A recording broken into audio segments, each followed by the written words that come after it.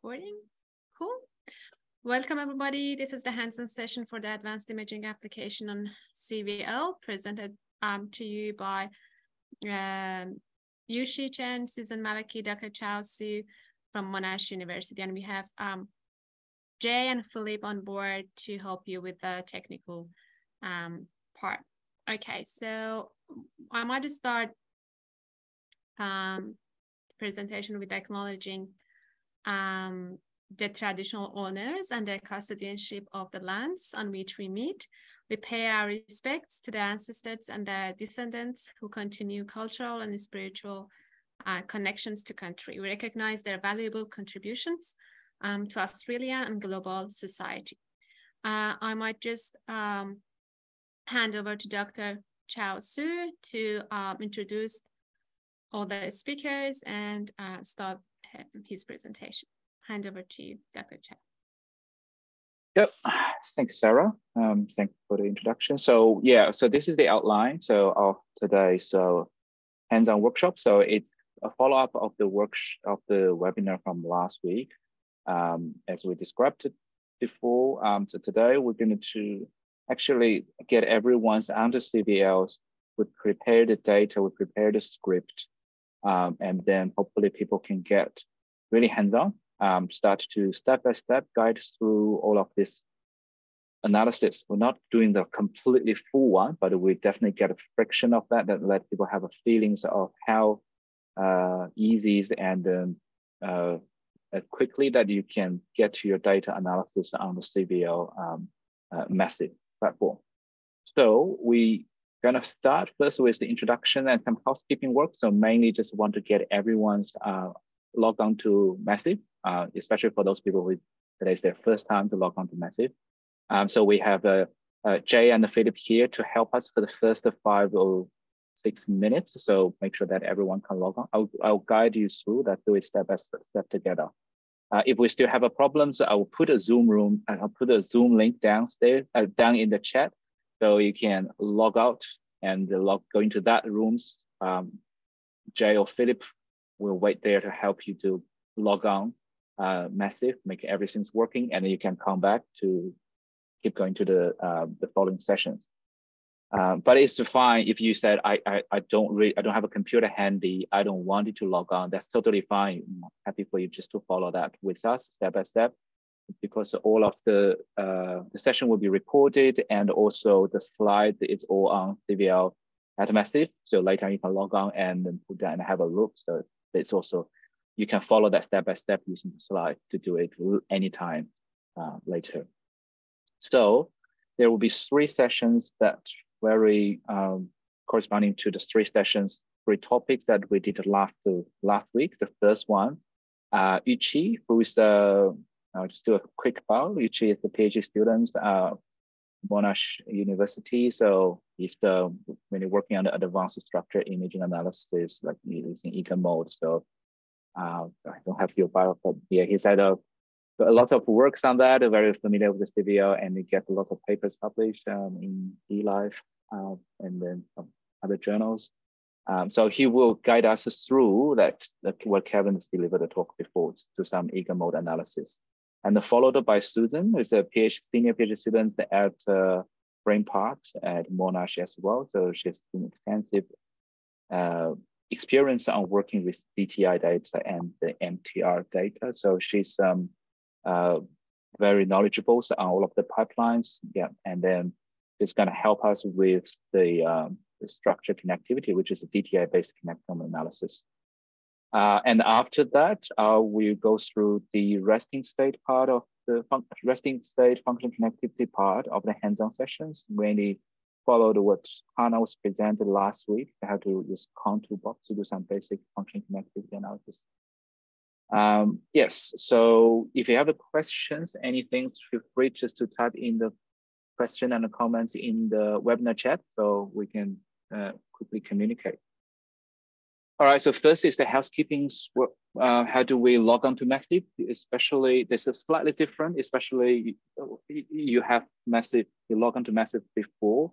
Um, it, there's, it's totally fine uh, which account it is, but if this is your if you find it difficult to reserve a session now, we'll come to here. There's advanced settings that we have the nodes already reserved for everyone. So we should be able to get on it soon. Okay, so I'm going to do that with everyone. So let me, actually, let me start from very, very beginning. I just want to cancel my session. Log out. Okay, all right. So if you type in beta.cloud.cvl.au, and you will end up with this login portal. And choose CVL and click login. And you will come to the second window so showing which one you are going to uh, select the authentication method.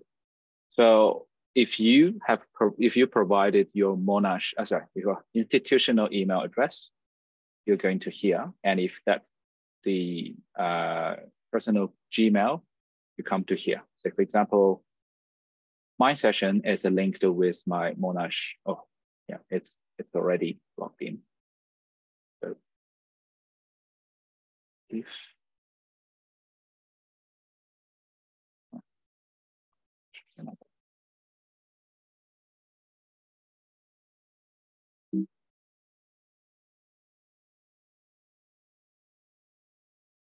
if I'm in the incognito mode, what I'm going to do is, is hmm.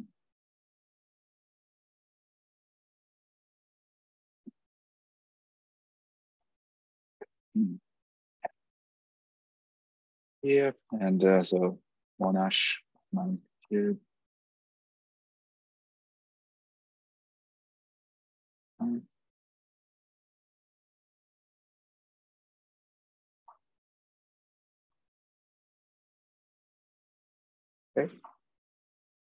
Authentications.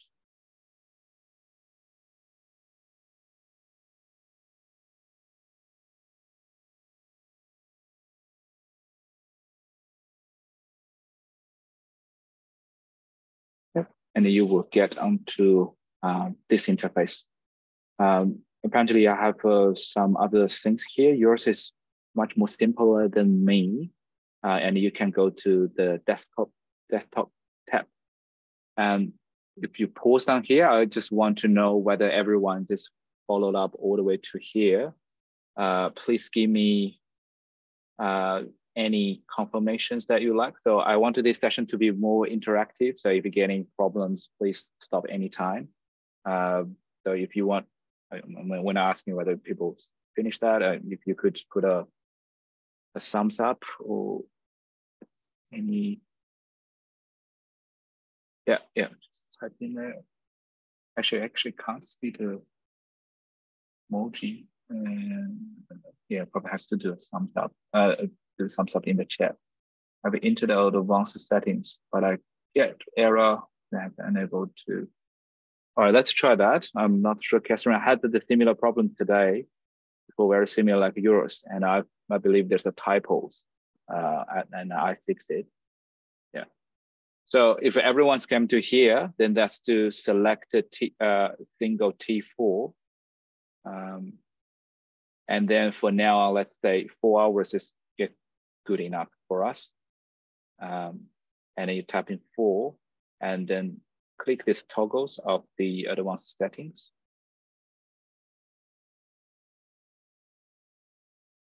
Okay, so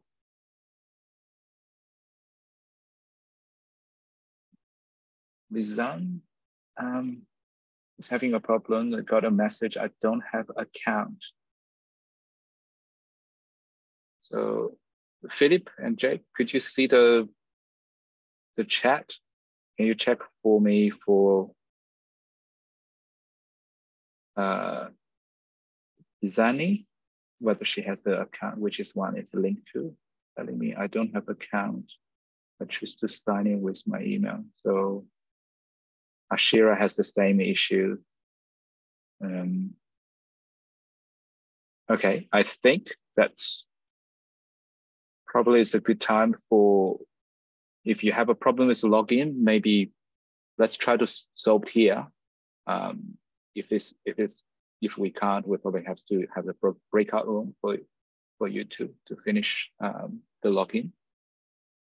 Okay, for other people, other people. So once you see this, we have this long uh, window. We can do some edit.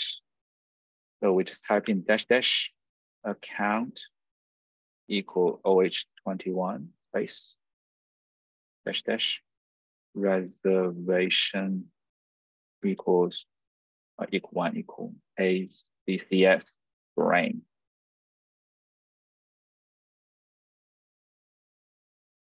Oh, just, yeah. Yeah. All right, sorry for the account. If it's set up too late, unfortunately, yeah, so we, we need a couple of times, sometimes a couple of hours beforehand to set up. So yeah, at least if it's too late, then that's still, we can later on to get you access, but we will have informations will be available online. So you can replicate everything later. You're welcome to stay and watch. Um, all right, so once you have all of that and click launch, so straight away I should have an account ready on here. So click connect.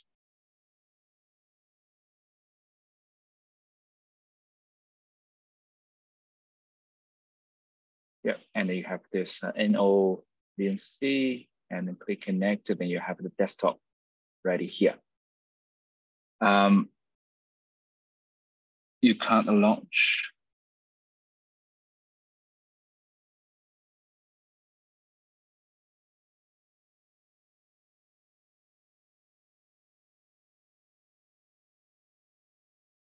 So what we see before, hi Catherine. So do you still have the SSH issue?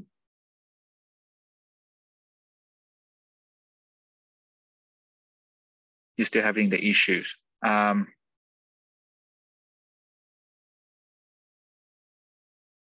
could you could you copy and paste? Could you copy and paste the information here, the comment line, and into the chat so we can help you?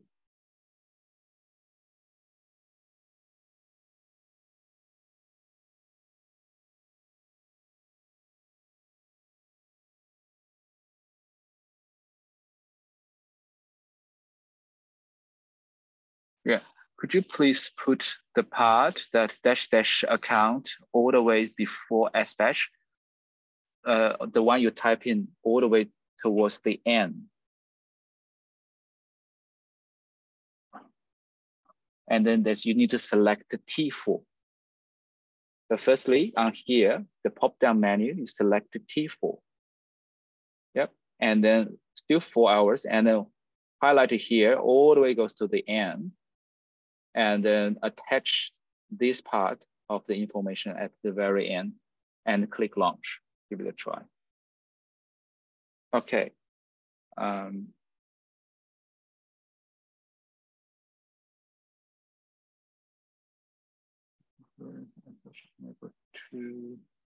yeah, so Maggie, uh, Maggie, could you do the same things, Maggie? So copy and paste everything in here from sbatch all the way to ACCS brain. Copy this and then paste on the chat.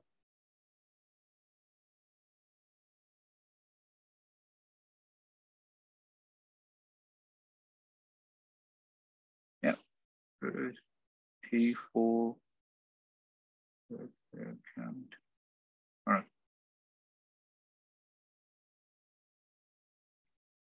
Hmm. So let me see who um, who has to. Okay, so maybe we can start the. So, so apart from Catherine, Isabel, Maggie. Okay.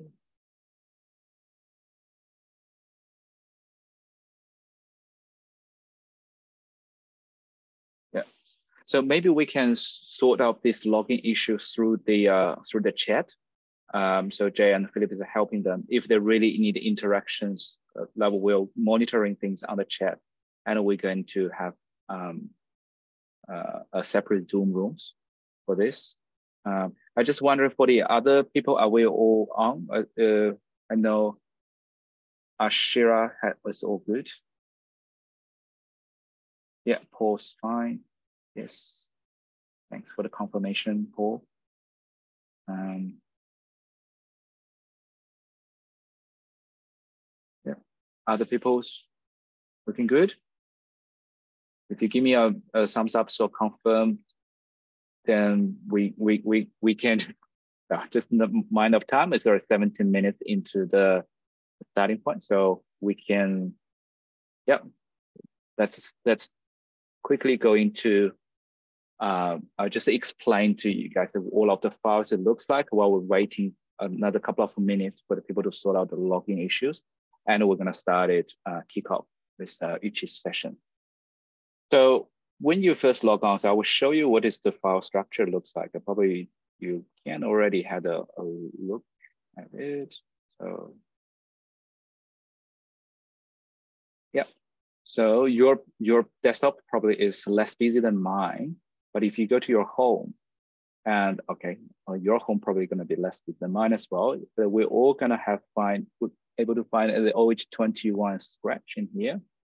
If you double click on that, um, you should be able to find your Authcate, or if you log into your Gmail, your your trainings. Um, if you click the um, um, the terminal, if you're not quite sure what's your use, uh, your username it is. So here is your username. If you log in uh, your personal Gmail, you probably will call it training 09 or training 10, etc. So that is your folder. And then say I get my folder, chaos, I just double click in here and I have four folders here ready. So we'll start with the easy one. So it's the documentation. You refresh here. Oh. There should be so this is the uh, um, document that I gave to I gave a talk last time last week for the um, highlight session. So follow here one by one. You just step by step. You can uh, do the visualization of the data. And then here we got hands-on sessions for the connectome and hands-on sessions for resting state. The documentation is here. Just for the eigenmode is actually sticking here. Uh, I think you got you you probably should have them. Check Alex. Yeah, you should have them all in there. So I haven't to async to my copy. But uh, it's important to you, if you find there's something is it's different and you want to say, okay, I want to restart it, the master copy is here. The ACCS workshop dash three has exact identical the file structure. So for, uh, for example, I'm missing this one and I will just copy into my folder and paste on here. But for everyone else, I think you already synchronized, it will be good. So here is all of the, the, the, um, the slide in the PDF format for each session. And then this is the rest of the three folders indicating the three sessions we're going to have. Uh, taking eigenmode, for example, you have the data, you have the example outputs, scripts, uh, there's some README files, and Ichi will guide you step by step later on for the um, how to use them. Um, I think. Yep. So um, are we ready to go?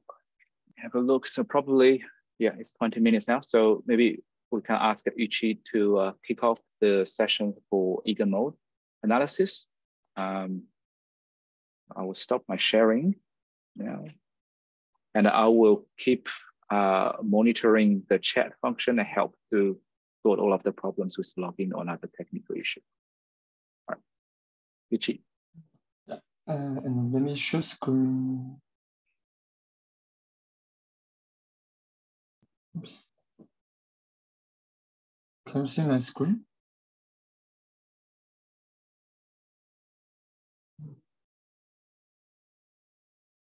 Okay, so I'm going to talk about the shape analysis, and this will follow up from the KVS talk last week.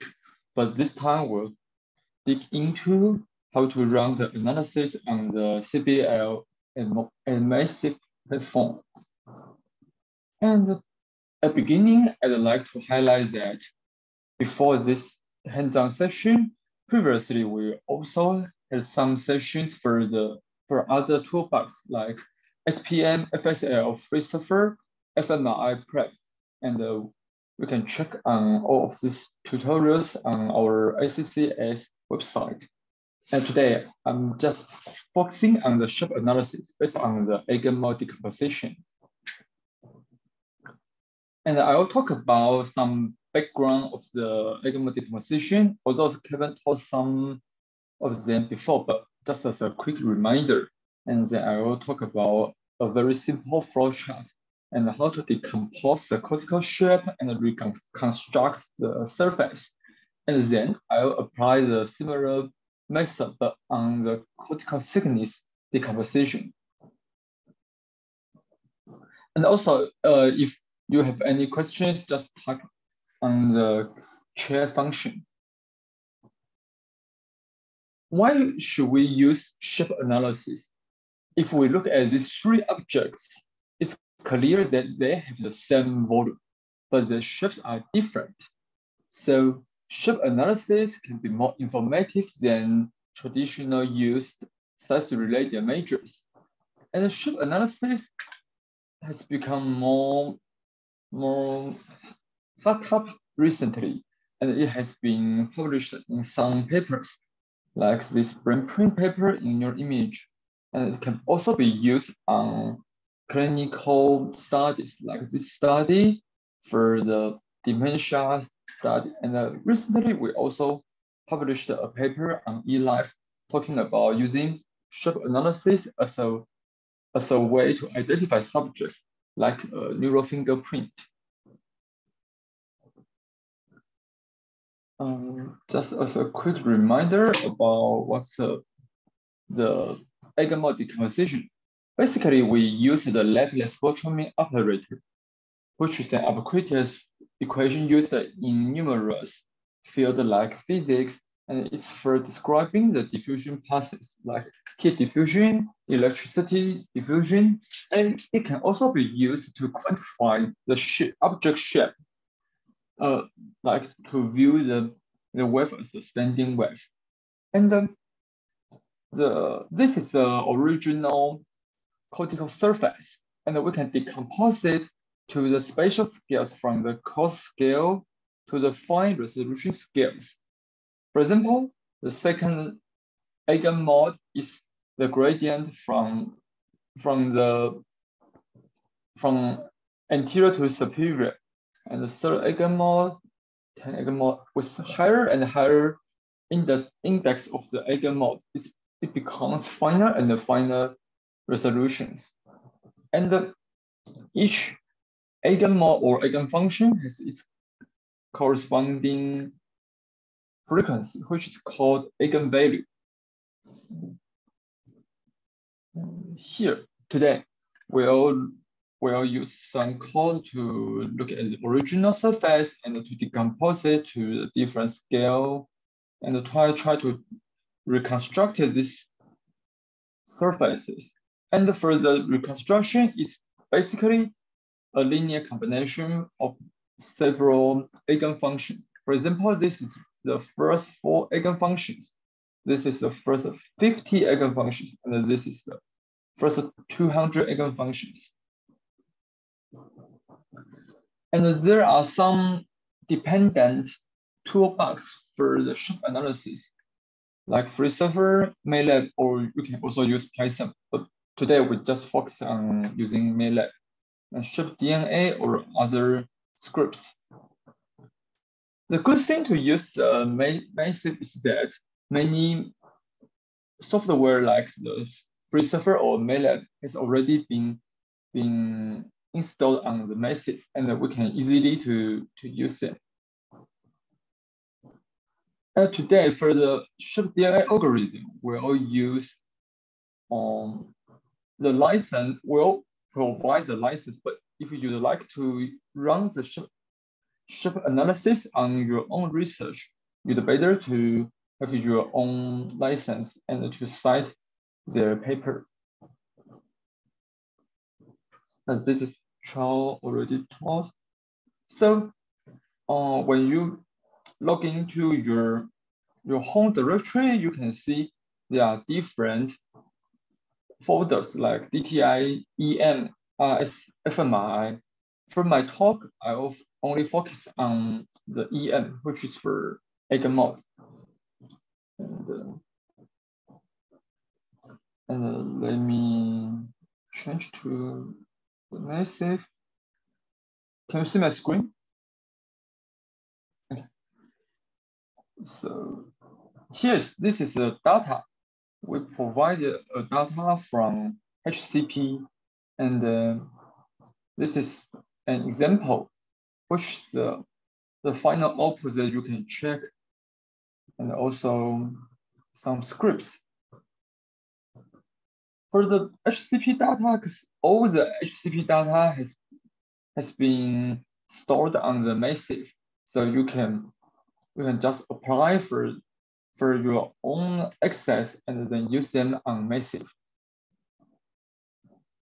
Uh, for the HCP, it also provides the FreeSurfer output. And uh, today, I can,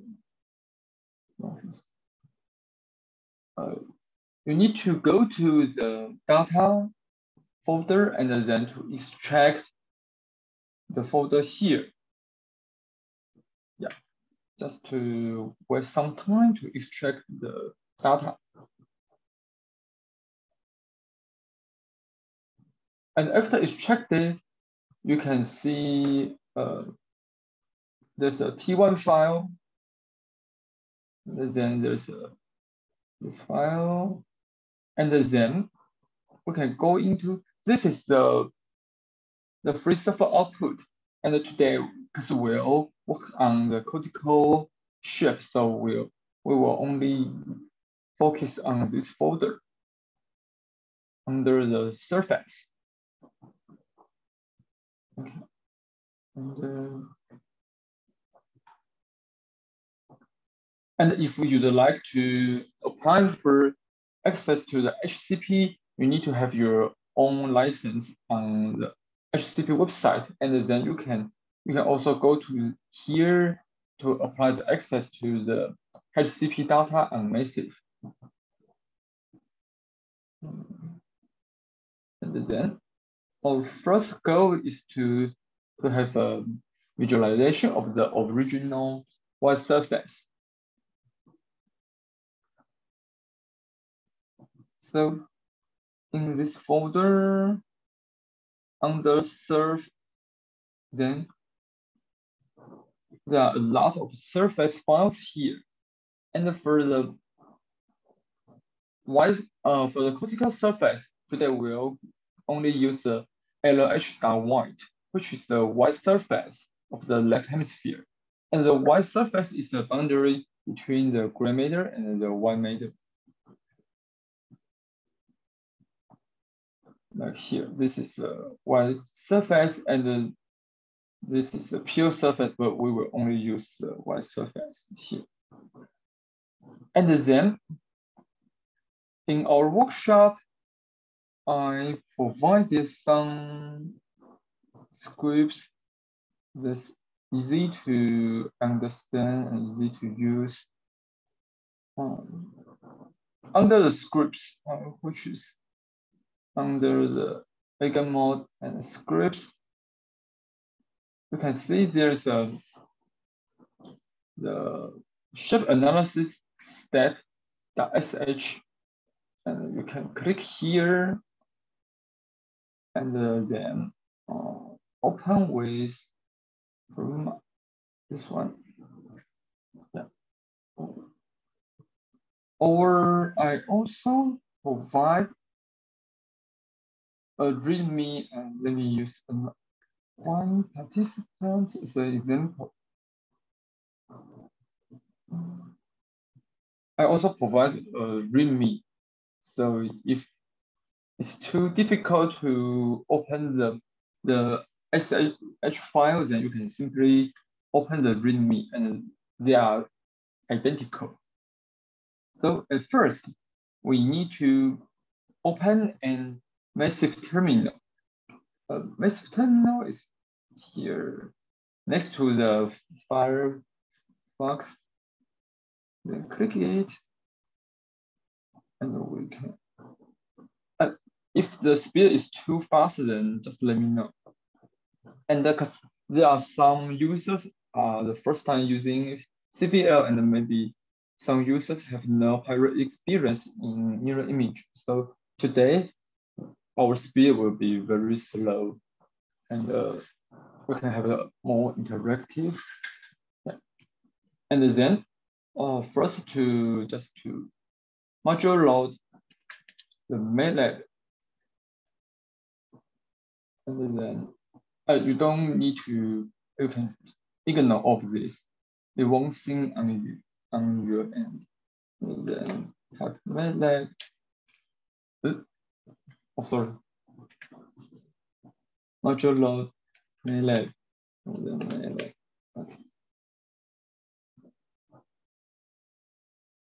It will open. And also all the all the code are provided on on the README, so you can simply copy paste. And in the MATLAB, just type CD. CD is go to the directory that we'd like to use. OH21. And you can use tab, for example, um, if you type YCH, you can use tab, then go to the folder, and then so simply goes to your own folder. Here, um, YCHN is my username, so you you should change to your own username, and then click this ACCS workshop shape analysis and file.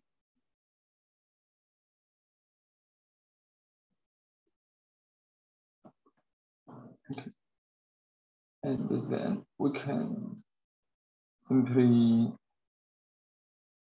copy paste. And for the MATLAB, you can see the files on the left hand side. And here, this is for the scripts. And you can type on the command window. And uh, the data after loaded into MATLAB, it will show in the workspace. Uh, you can also use the run section function. And here you, you should change to your username. Okay, run, oh, sorry.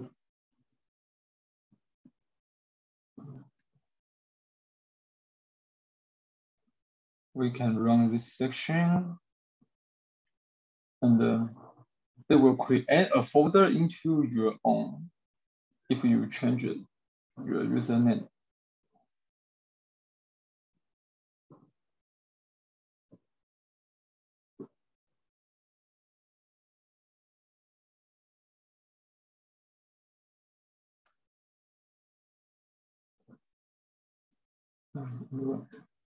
And then, okay, this is into the surface folder. And then our first step is to load the white surface into MATLAB run section. And then you can see there's a left surface here. And for the next step, we'll look at this surface. So you can run the run section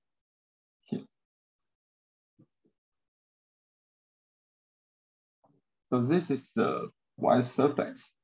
And you can click this button to rotate it to look at this one.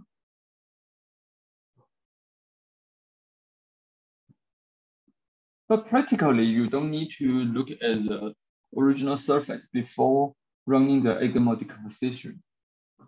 It just give us some intuition about the original surface looks like. And for running the the eigenmode decomposition, then we can go back to see uh, the README file or or another yeah, uh, SH file.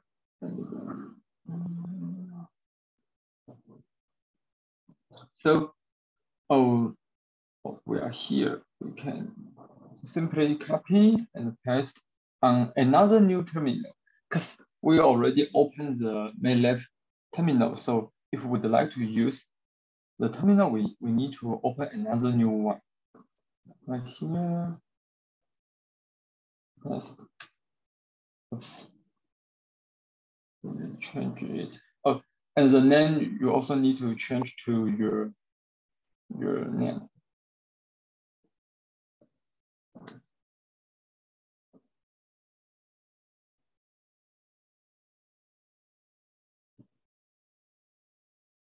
Oh, this is this is incorrect. Uh, this should be.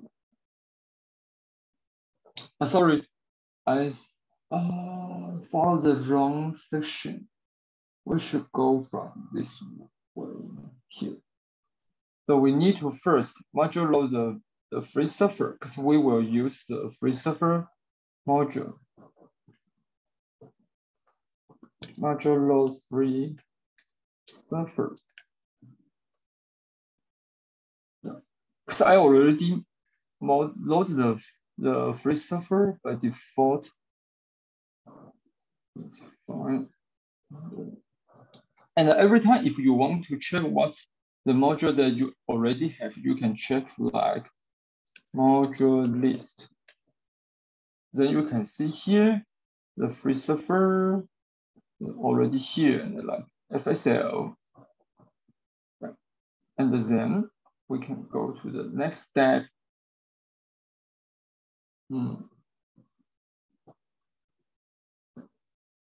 Just to go to the script file. So I should type my name YSHEN and then go to the scripts. And if you want to check what's inside this folder, you can type ls to see what's inside here. And uh, for example, for our shape analysis step, you can also type vi space shape analysis steps and enter. And then we can then. And then we need to copy paste the subject ID, the space, the path, and also to convert the white surface into the VTK file. Because the shape DNA algorithm works on the VTK format. So you can copy and uh, and sometimes if you found the copy paste function doesn't work, then you can use here. here. Uh, and uh, this one, clipboard and uh, copy. Then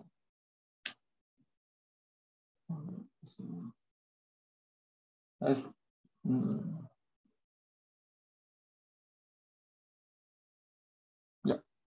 some problems. So let me check. ID. Uh, and here we only use one subject. So the subject ID is only for one subject. But if you run for a list of subjects, then you can specify to read the list.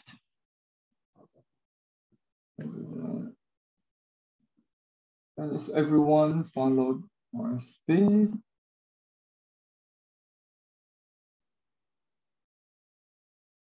Okay.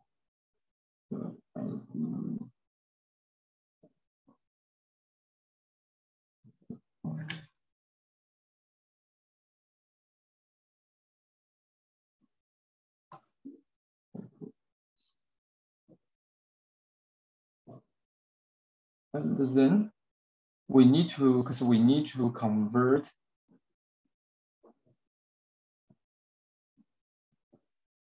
the white surface into VTK file.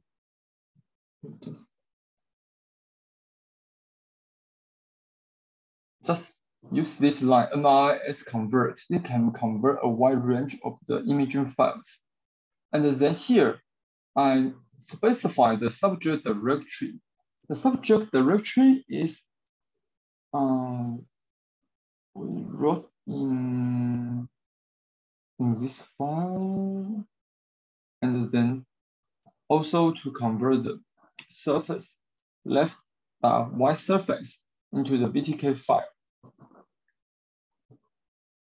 And we need to run the shape DNA in, inside the script because it has the, the license and the, the key into the folder. And then we can run the, the DNA. Um, this is good.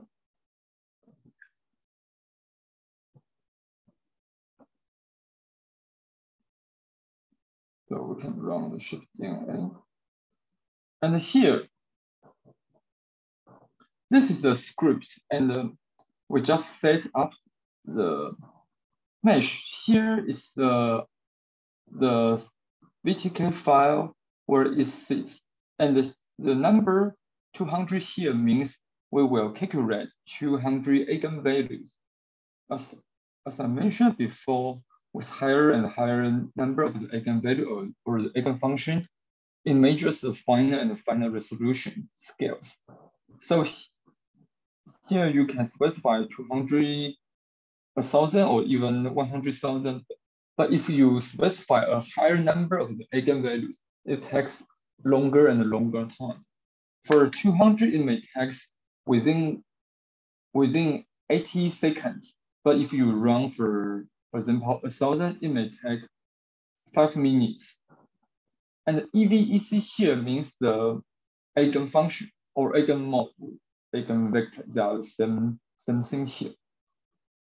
And uh, eigen, and this function ignore low quality is for using, it's basically to ignore if the the image quality is not very good, but we usually use this option because they are very seldom to have a very perfect imaging quality. But Yuqi, just have a question for that. So usually if you decompose a, a, a whole brain, or this is half of the brain, is that 200 numbers of 200 is it's, it's good enough for just for research purpose? Uh, here we just use the left hemisphere and the number of the eigenmode depends on your research purpose. Um, for example, in my in our study on the eLife publications, we found that uh, about less than 150 is enough for identify subjects. But for some purposes, you might need a more finer, finer scales. For example, some some studies use the eigen, eigen function to decompose the curvature. And in that study, they use 5,000 eigenfunctions to, to uh, reconstruct the curvature. Yeah, so it's, it's really depends on your purpose. And in our, our labs, another study to decompose the functional connectivity, they use yeah, they use 200 eigen, eigen eigenmode. Thanks for that. And then to decompose it. So as I said, we need to wait for about 75 seconds. And because here we use the license from Kevin, so you may see welcome Kevin Aquino. But if you apply for your own license, it will be changed to your name. And this is where our VTK file sits and it also shows all options that we provided.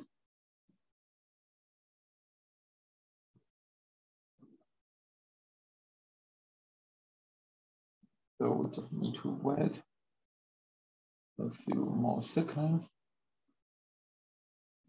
And when using the CVL system, you can choose the different compute computing and capability like light compute or heavy compute. Right now, because we only use light compute, so the speed is not as fast as using heavy compute. But if everyone chooses heavy compute, then we don't have enough space for the, uh, we don't have enough node.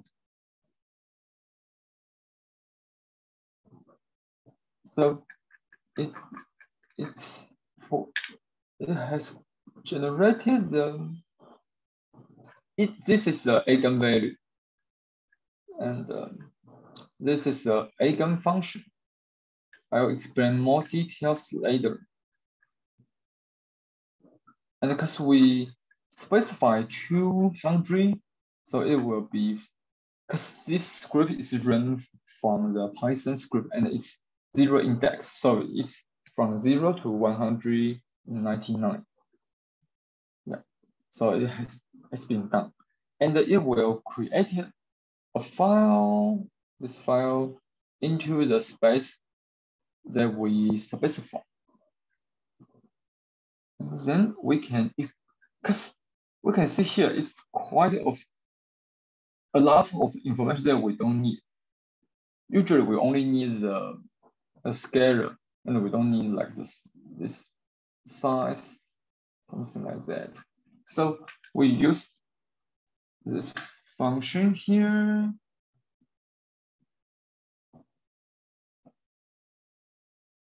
The eigenvalue and then the eigenfunctions.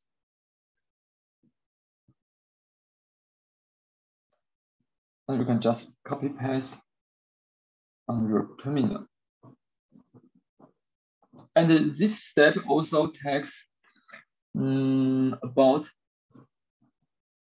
30 seconds to one minute to complete because it needs to extract the information and then also to save it on, on massive. So need to wait for it.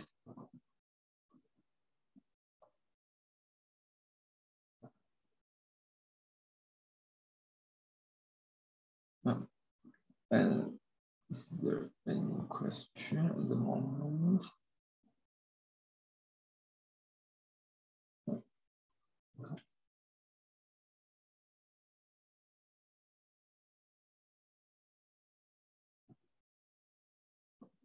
Check my slide.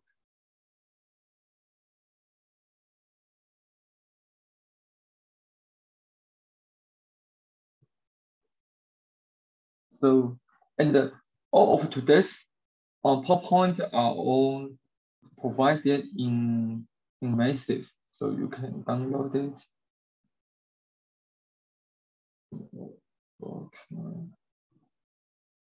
Okay.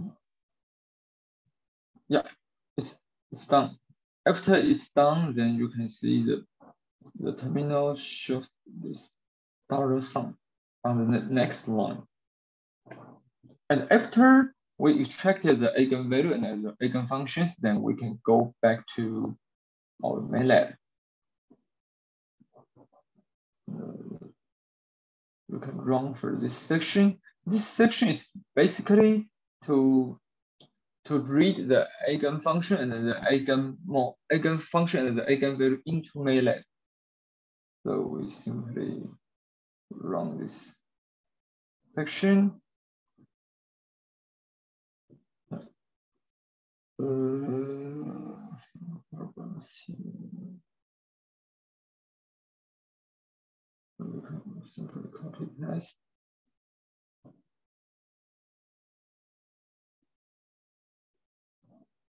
eigenvalue is quite light. It's, for example, if we only specify 200 eigenvalues, then it's just a vector with 200 scalars. But for eigenfunction, it's quite huge because um, the row number is the vertex numbers, and it's usually about like 150,000 vertices. So, so we can we see like this subject, because the vertex numbers is more than 160,000. So the row number of the eigenfunction will be this same number. And the number of the column will be the number of the the eigenvalue of the eigenfunction that we specified in the shape DNA algorithm.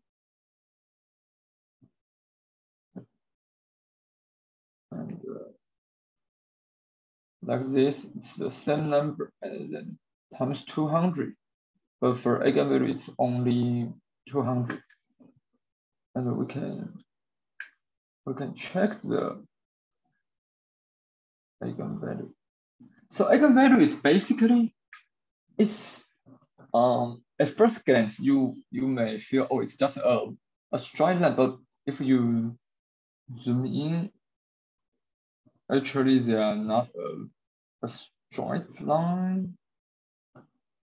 And each subject has different in their their eigenvalues.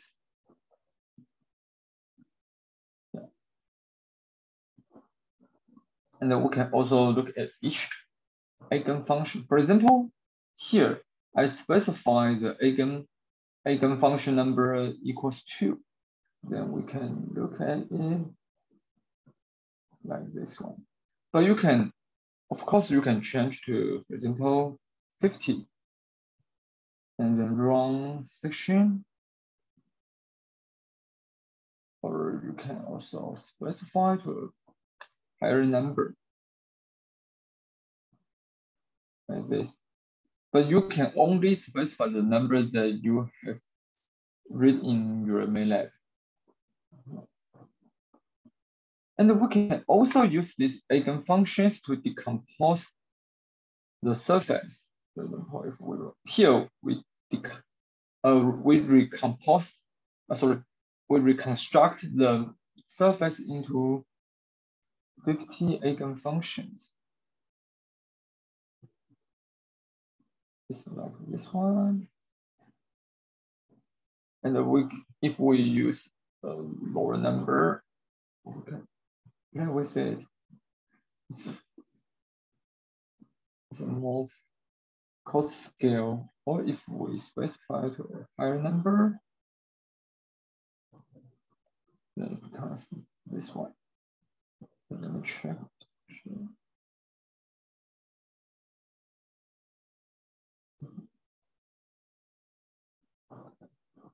So it's basically depends on the how how um finer scale that you want to use to decompose or to reconstruct the surface. And then we can apply the same approaches on a thickness data. And first we can just see the original thickness surface. This is the original thickness stuff. And the, the shape here is the original one. And the thickness, we can look at this color bar. If the color is more closer to yellow, then it means it's closer to like the four millimeter. And this is the original thickness.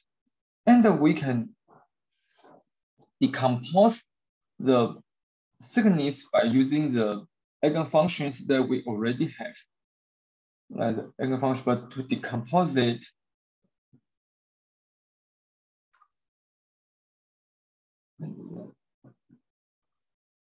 here we use the 50 eigenfunctions and we can check with original one. What count most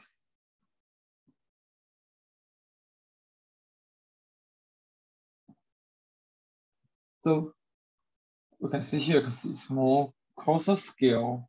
And if we change it to 200, then it's more closer to the original thickness data.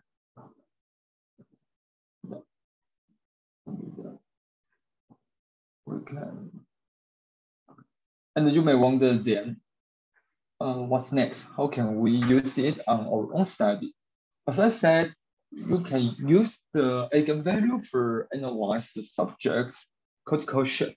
For example, this is one sub. This line is from one subject, and the A and A2 are all on the same line. They are from the same subject, but at different time points. So we can see here, their shape are quite consistent against the time period, but they are different from another subject. So you can analyze um, the individual eigenvalue or another approach is to grouping the eigenvalue together. Uh, previous studies shows that eigenvalues can be have have some properties that we can group them together. For example, from the first two to fourth eigenvalue is the first eigengroup. And then from fifth to ninth eigenvalue is the second eigengroup, and so on. And of course, you can use like the thickness decomposition. And when we decompose the cortical thickness, um, for example, we go back to here. Um, when we decompose the cortical thickness, we can have uh, here, this is similar to the decomposition coefficient. And we can look at in here. It's like a coefficient, and we can also compare the coefficient across subjects, or just to use the, the reconstructed thickness data. Yeah, that's all. Uh, any questions?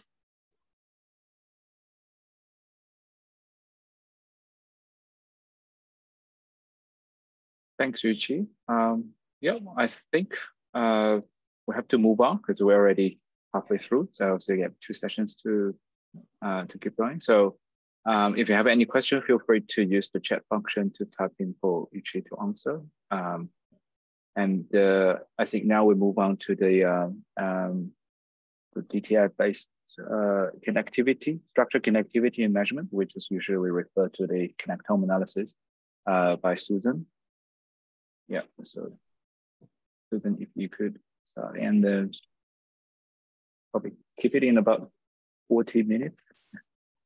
Give me 10 to 15 minutes. Hi, everyone. Can you hear me? Good. And can you see the screen? Okay. Um, So we are focusing on a structural connectivity analysis today, and we are going to use, I guess everyone has their own folder and um, under your own name folder on the massive, you should have connectome. And within the connectome, we are using to, we are, we'll use data folder. And this is A to Z pipeline of our um, uh, the code that we are using for today. Okay, so first I want everyone to open in terminal, just right click in your, um, within this directory in the connectome data folder, open in terminal. And then everyone should export their name. So I will use Susan, so you should do it for your own name. Okay. Okay. Now, um, this is our raw data. Uh, I'll show you the structure. So within one subject folder, we have diffusion data. Uh, when we convert from DICOM to NIfTI, we'll get the B values. Uh, for our diffusion sample data, we have 67 volumes with seven B0 volumes that are interleaved. So you can see at the beginning, there's one B0 and then the magnitude of our diffusion is uh, 3000 and another one. And so we have seven B0 volumes in our uh, diffusion. Uh, and then we you should have a B vector, so which shows the direction of the diffusion in your MRI, diffusion MRI data. So it's just a quality check to see that when you convert from, from DICOM to NIfTI, you should have this. And this is your main diffusion, raw diffusion data. So now we can move on. So first we load the MRTrix version 3, and then you give it the directory, copy these lines, and paste it in your massive terminal.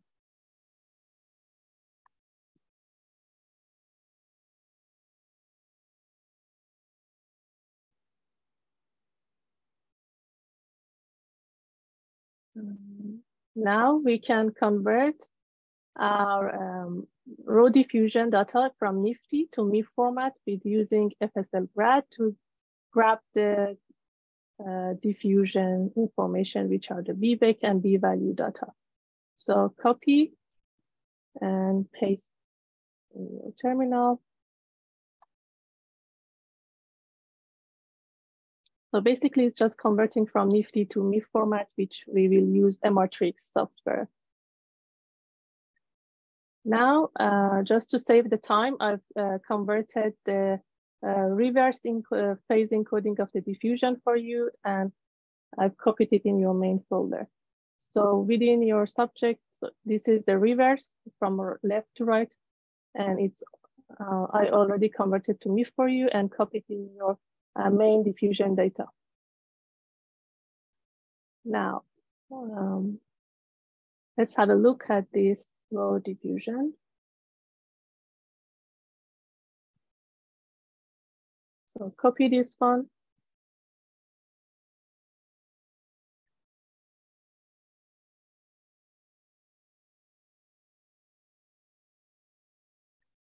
So hope everyone is uh, opening this raw diffusion data, you can go to your tool on top right and click on view options. And here we should change the uh, intensity to uh, 150. So this is our the first volume, which is B0 when there is no diffusion. And you can scroll up to go to the next volumes. These are your main diffusion volumes. And every, if we go up, every 10 volume will have one, uh, another B0. So if you remember, we had interleaved B0 volumes across our diffusion, across our 67 uh, volume of our diffusion data. Uh, now we can close it. So it's better to quality check the um, all your subjects, all your diffusion volumes. Now we move to generating the standard deviation images to check the movement artifacts. We can do it for no B0, means the main diffusion. Paste it in your terminal. You get this warning because we are using dash force. It will overwritten if you have previously produced any uh, same um, similar output.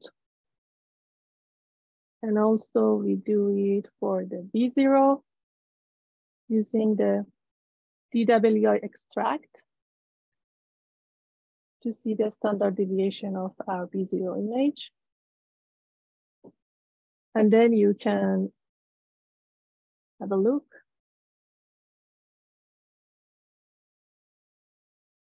Okay.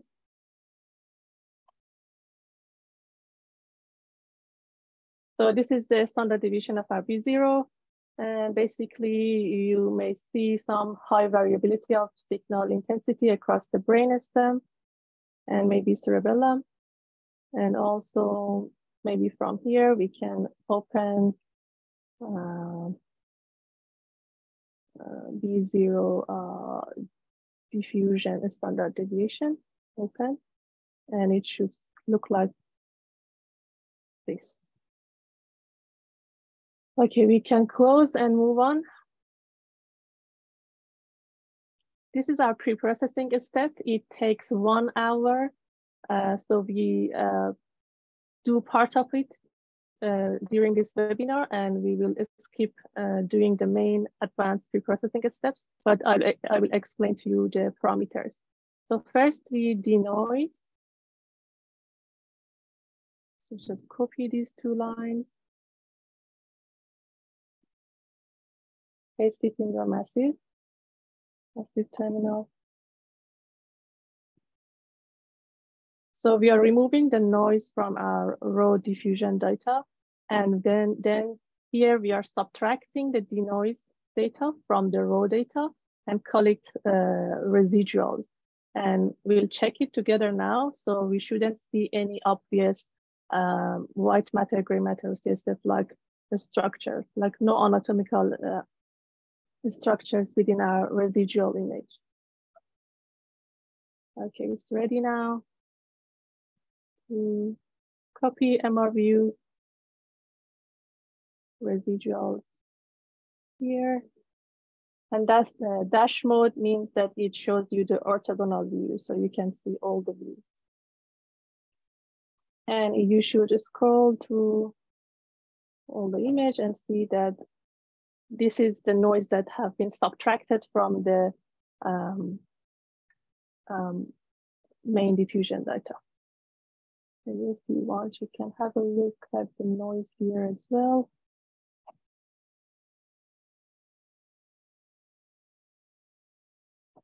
So that was the noise that had been removed. Okay, good. Now, next step is um, removing the Gibbs ringing artifacts. Use mrdegibbs, copy, paste it in your massive terminal.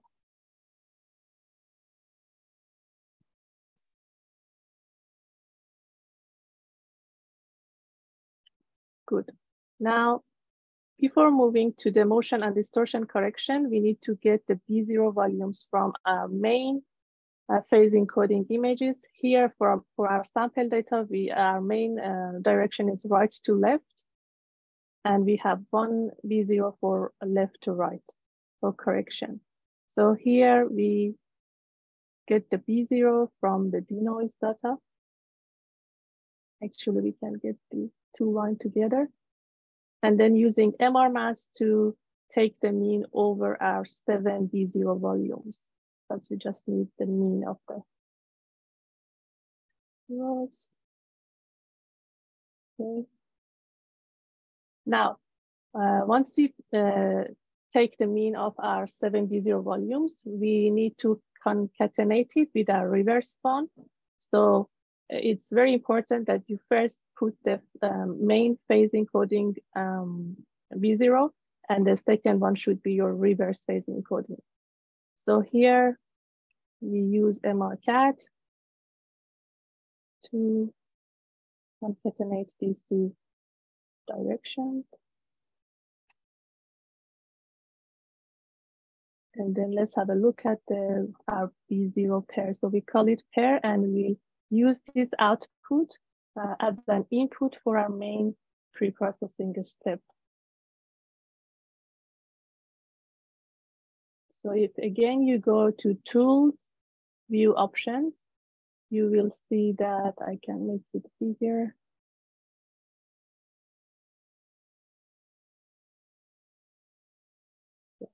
So the first one is the, you can see that the uh, diffusion is tilted to right direction. This is the first B0 uh, uh, from the main phase encoding direction. And the second volume, it's tilted to left.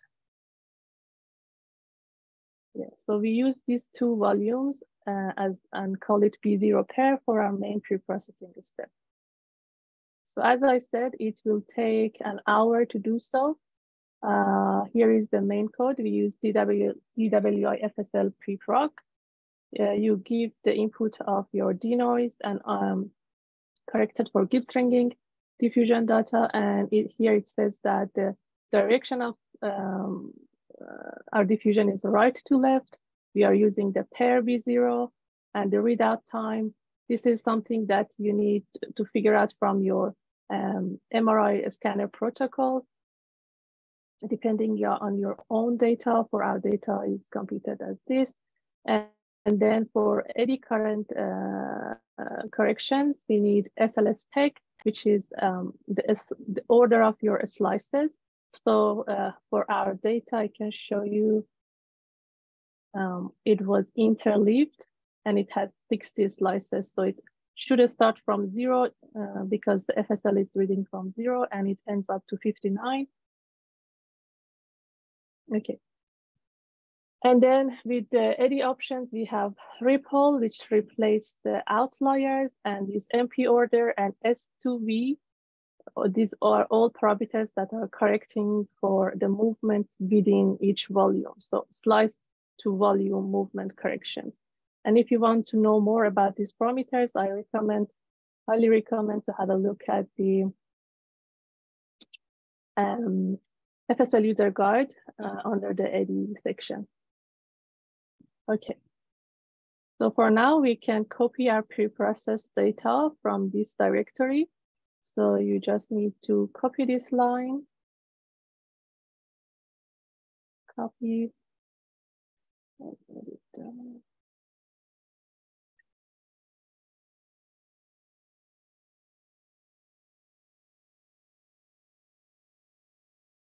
Okay, let's have a look that uh, we have it in our folder. So yeah, this is the prep eddy. That's the output that we just copied. Okay. Now we can move, uh, remove the field in inhomogeneities using DWI bias correction. It use ANTs. Um, so again, copy this code into your terminal.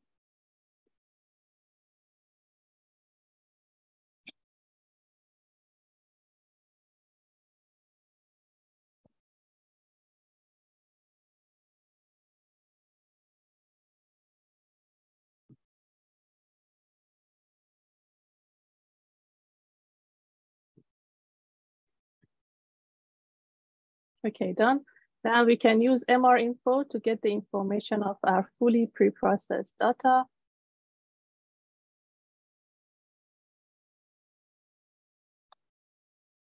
So here you can see that we have 67 volumes and the resolution of our diffusion data is 2.5 by 2.5. And uh, this shows the history command that we've used for pre-processing with all the parameters here. Okay, it looks good. Now we can move to next uh, section, which is um, estimating the response functions. So uh, first we need to estimate these response functions for uh, each subject separately. Mm, and we are using the MRTRIX 3 tissue, so we need to module purge. So actually clearing all the uh, previous loaded modules and loading this version.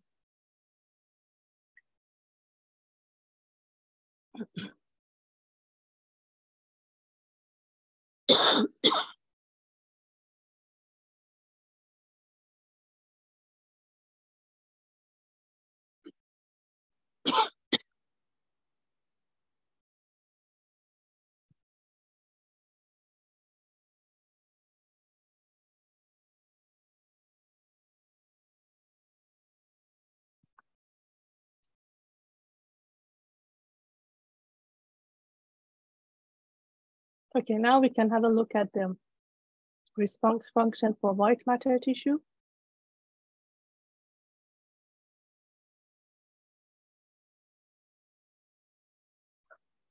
Excuse me. So this is the, these response functions are kernels that model the diffusion data within a voxel for a, a single fiber orientation.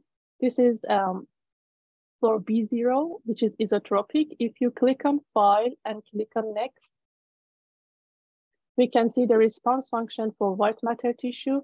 uh, for which is for this is for B3000 value. For so for higher B values, it uh, for white matter tissue it tends to uh, be like a pancake or donut shape, which means the preferred uh, direction of the diffusion within the white matter tissue. Okay, we can close it. We can have a look at the gray matter issue as well. It should be uh, a sphere for both diffusion. So this is for B0. Again, there is it, the diffusion is isotropic.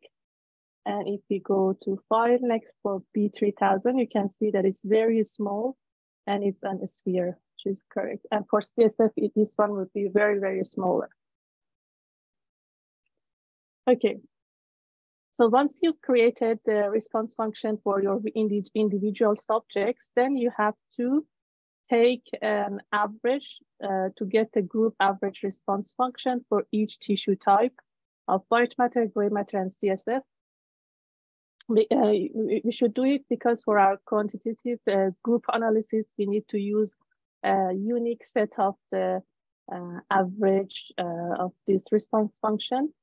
But here we can, we should skip this part because um, we are just running through one subject.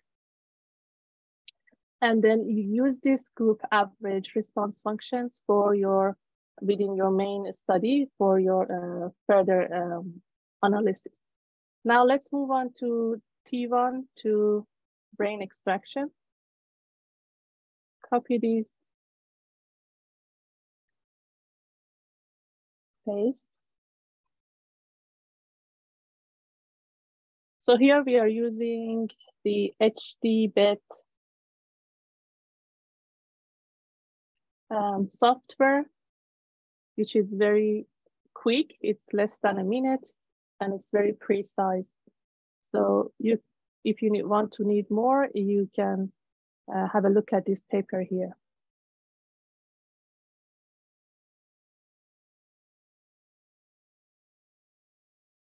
So the output should be a brain extracted T1 and also a brain mask.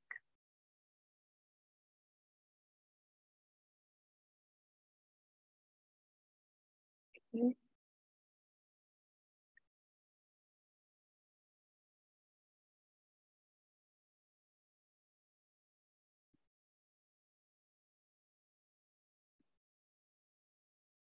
Hope everyone is following and the speed is not too high or too low.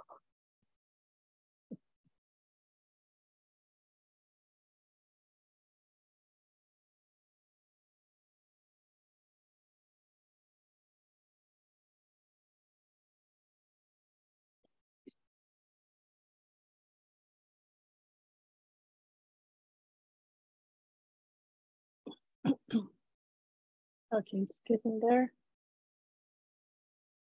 Now you can have a look at your T1 folder. Yes, it has brain and then brain mask. Um, okay, now we can have a look at the quality of the output. We need to uh, load for visualization. We need to load FSL. And here we are using this version 6.0.3 it creates us a slice directory and then we need to for to view your own output you should copy this link. So for everyone is different copy and here type firefox.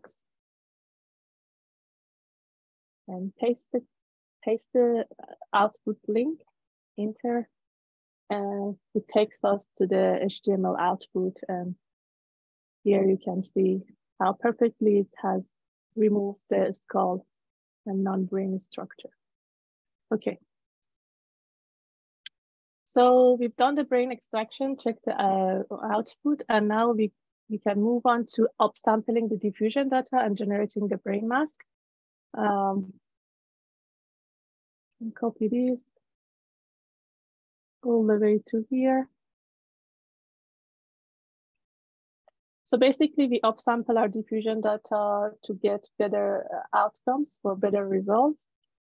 And we are uh, upsampling from 2.5 resolution to 1.3. This is how recommended by the documentation MR3 uh, community.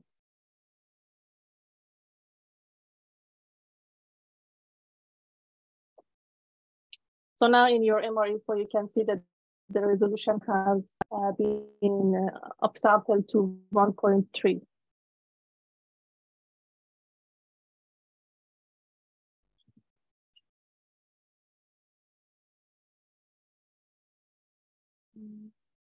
Susan have a question in the Q&A. So yes. Lead saying that.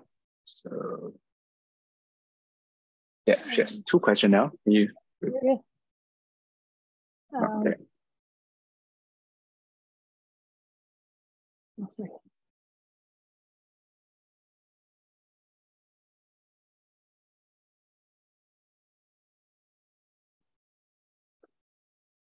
What is the benefit of using the group average response function so that individual response function Okay, we haven't implement, uh, implemented the uh, group response function uh, here in the webinar because uh, we don't have the whole sample data set here. And the advantage is that so um, most of them are very similar for most of the response functions are really similar, but it's better uh, based on the documentation. It's recommended to get the group average uh, and then use just one unique set. Um, because we when we are computing um, the fiber orientation distribution, uh, we need to have these response functions, and it's better to do just one uh, to use just one unique set uh, for later on that we want to do group analysis. It was mentioned. Um,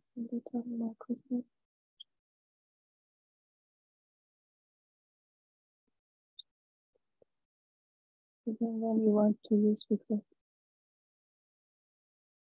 Yes, so yeah, so we have upsampled uh, from 2.5 to 1.3, that's right. So what's the question? Read you need to. Yeah, I don't understand the question, the second question.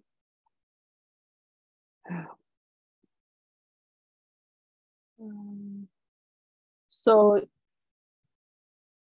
yes, so we have upsampled after the pre-processing. Um,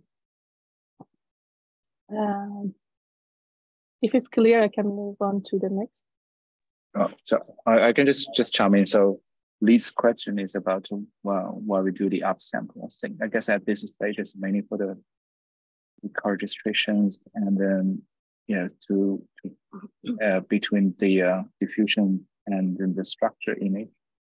Um, for the pixel-based analysis, because we're not doing pixel at the moment, so we're we're working on that. So we can dig in some information, but the, the pixels, and we can just come back to you later of that question. So yeah, we yeah we will get some more detail. Let's keep going with the the, uh, the class. Thank you, Sean.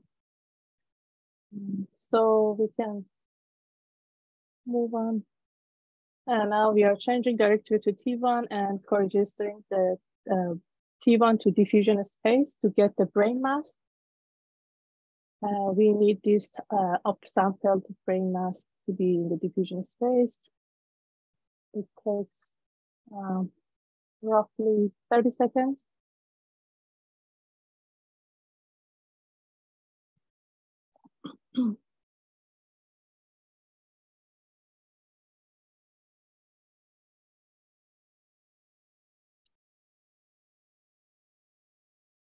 So once this um, brain mask is ready, then we binarize it and convert it to MIF format and copy it in our main diffusion folder. Okay, so we use FSL maths to binarize the mask.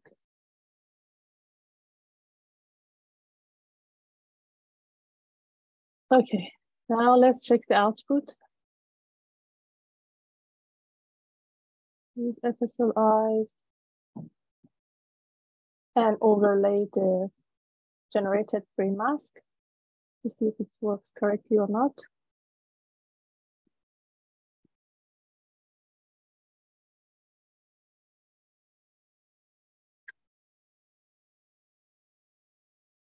Okay, here we go. We can change the color of the mask and then we can use this opacity here and decrease it to see that it uh, done, the mask is uh, been done correctly. Okay, so that's the visual check of our output. We can close the FSLeyes and move on to the next step. Um, here is the pause tree. So uh, uh, in this section, we are computing the fiber orientation distribution using the CSD method, constrained spherical deconvolution. This uh, would take up to an hour. So uh, we skip running this in the webinar and you can copy the output from here. So just copy these lines into your massive terminal.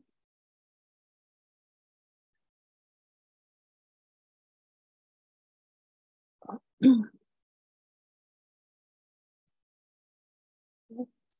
now we can check the FOD outputs. Uh, so to view this, uh, we will combine uh, um, white matter, gray matter, and CSF to a single image. And to uh, we can use MR convert to grab the first volume of the white matter FOD normalized, and then uh, con concatenated with the gray matter and CSF uh, outputs. So we use, we copy this. First, we need to change directory to um, uh, change directory to diffusion folder.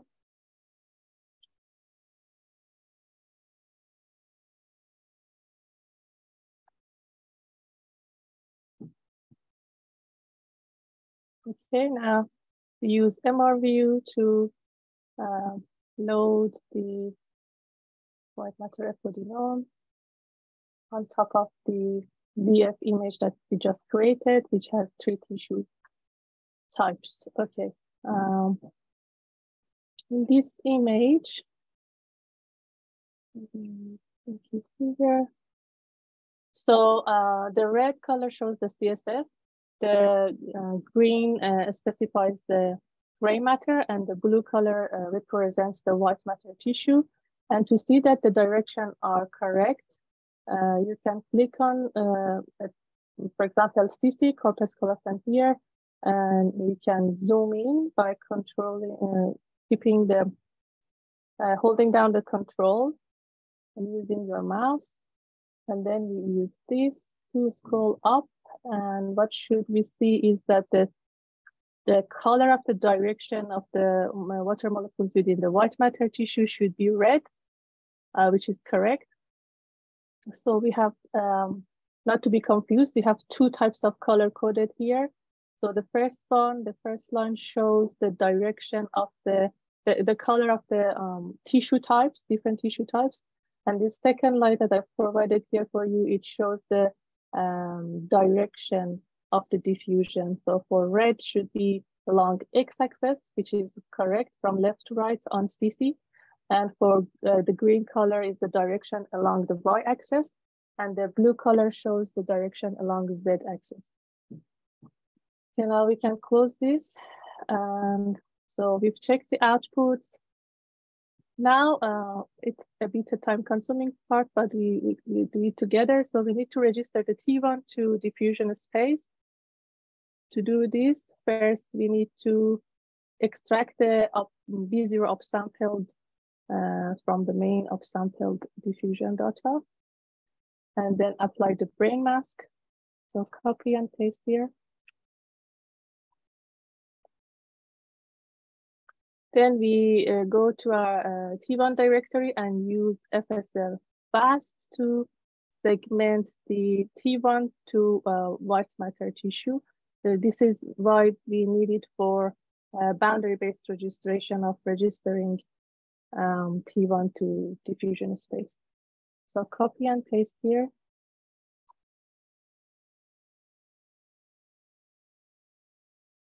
It may take a minute or so, or maybe more than one minute. So the reason that we are using this is that it's better always to get the lower, um, to register the lower um, resolution uh, image, which is our diffusion space, to the T1, and then get the transformation matrix and inverse it and apply it to our T1 to get the T1 to diffusion space. So it, uh, it may sound a bit confusing. It has two steps. Uh, here you can have a look at the slides. Um, so we computed the FOD. This is the boundary-based registration of T1 to diffusion. So first we extract the B0, upsample B0, and then apply the brain mask. And then we use uh, FAST to segment the white matter tissue. Uh, here is the output of our interest, partial volume two. This is the white matter. And then we um, threshold this image that everywhere, so if you look at here, the partial volume of the uh, white matter is more than 0.5, then we threshold it and binarize it and call it the white matter segmented mask. And then we use it uh, in the next step using FLIRT and using the cost function, which is uh, doing the boundary-based registration of the uh, B0 to T1. So as I said, we are uh, first registering the lower, uh, the lower resolution MRI, which is diffusion, which is 1.3, to higher resolution MRI, which is T1, which is 1. Uh, and then when once we get the output transformation matrix, we can apply the inverse to get the T1 to diffusion space. Okay.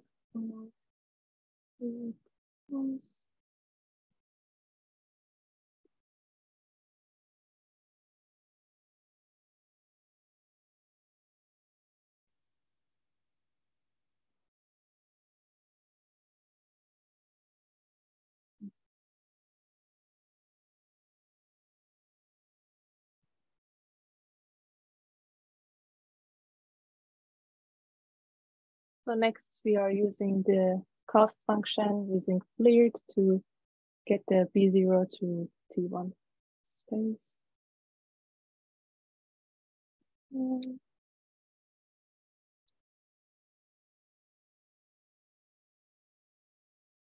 Hopefully it finishes soon.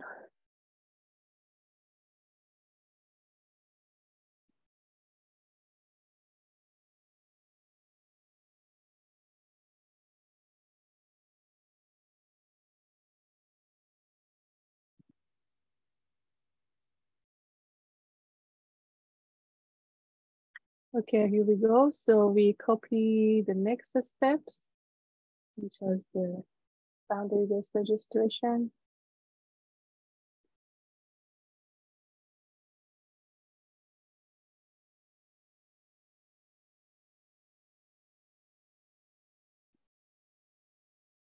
And then we can transform this output, which is uh, within FSL. So we use FLIRT so we convert from FSL to MRtrix format because we will use MRtrix for the tractography. I can use the whole. So once we uh, converted from uh, FSL to MRtrix format, then we apply the inverse, as you can see here, apply the inverse on um, row T1 image with SCAL for the FreeSurfer analysis, and also apply the inverse in the next line um, on the brain extracted T1 for generating 5TT tissue, which I'll explain in next steps. So you can copy all these three.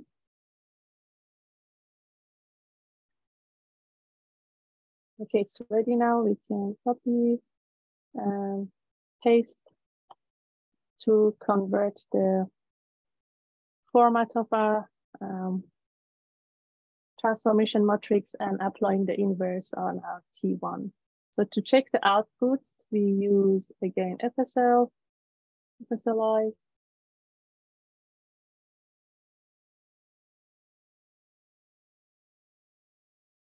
So we are overlaying this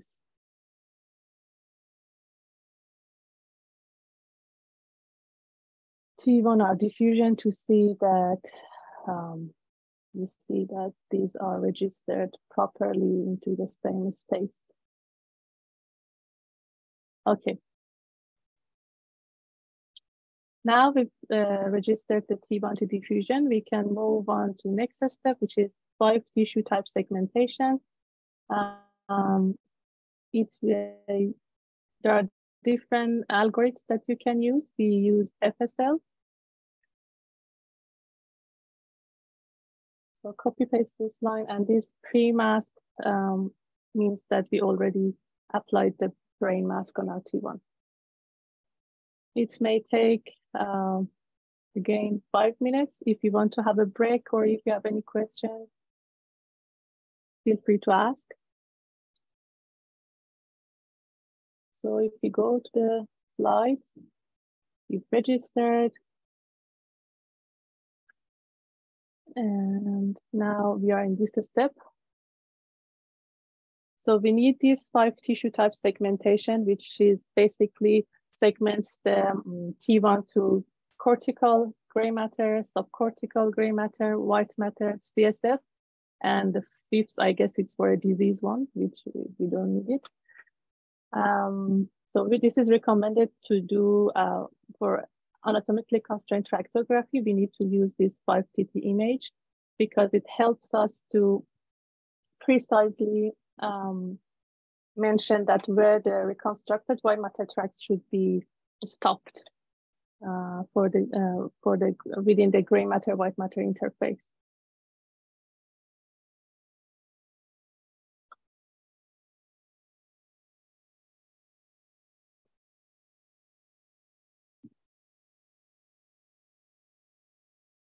To give you more explanation of what we've done so far, we use the uh, CSD method, which estimates the multiple fiber directions within a voxel. Uh, Susan, did you consider there's a question in the uh, Q&A? Uh, Aaron, Aaron's asking, dear Susan, could you explain why you calculate the response function before the upsampling and uh, not after. Um, uh, I guess this is two different things, right? So the upsampling, I think this is probably related with the question from Liz. The upsampling is only happens on the B0. It's mainly for the structure wise. So they're using B0 as a bridge to do the proper co-registration between the DW and the T1. So that's the main reason of upsampling. However, the calculated response function is more onto the rest of the volume. So if you look at DTI, there are 67 volumes. So B0 is the one that we upsample. All the others, we're not, I don't think we upsample the other part of the, the DTI data. So when you calculate the, func the direction related information, that should be in the uh, original resolution. Is that correct? Uh, I guess it doesn't really matter to if we do the response like on the preprocessed data or after upsampling because it's just a basic knowledge to uh, then do the main fiber orientation density computation, which is basically we use the upsample data. Um,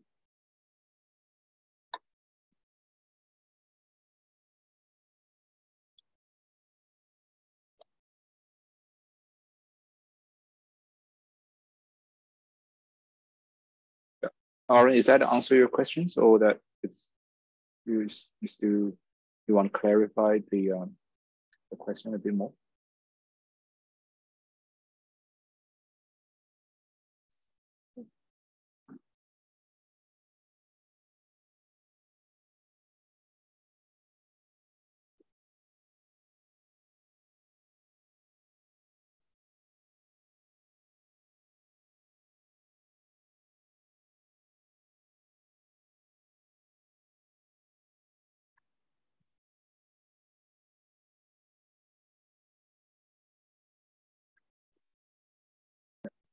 I hope everyone is following and getting some break. So yeah, again, so for any questions that you uh, don't have time to ask or confused, so there are, um, you can always reach us out uh, through the email. So yeah, we're happy just to help you out. Um, again, if you have uh, some other suggestions, you're welcome just to get in touch as well. Then we can um, have a chat together. That's true.